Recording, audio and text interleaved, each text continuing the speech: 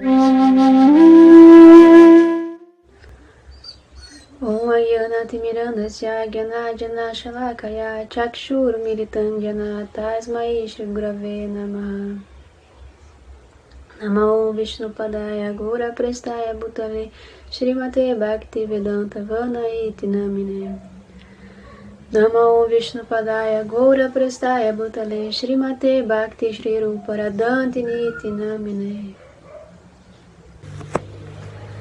Haribo, Hare Krishna. Então, por que que eu virei devota? Eu lembro que há uns anos atrás uh, eu vi eu vi uns devotos lá no centro de Porto Alegre e me chamou muito a atenção assim a roupa que eles usavam. Eu achei muito legal, né? Porque era algo muito diferente. E aí uh, eu resolvi uh, ir lá falar com eles. E aí eles resumidamente assim uh, eles me explicaram um pouco da consciência de Krishna, né? E foi muito legal, assim, realmente muito divertido. Achei muito bonito, uma filosofia muito encantadora. E eu vim com esse livrinho aqui, esse aqui, e eu nunca li ele, na verdade, né? Aí, uns anos, uh, uns anos depois, uh, eu vi Vana Maharaj, foi em junho, não, foi em janeiro de ano passado. E foi algo um pouco difícil, assim, essa aceitação do guru, né?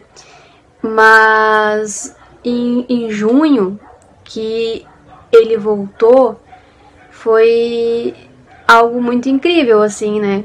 Eu, eu vi, assim, um pouquinho, assim, realmente da luz que ele tem, né? E eu me rendi, recebi o Harinama e dali em diante, assim, anda sendo algo muito incrível na minha vida, porque é muito auspicioso a gente estar aos pés de um guru, estar realmente servindo, assim, estudando. Uh, é muito, muito, muito, muito auspicioso, então eu fico muito feliz e eu faço assim.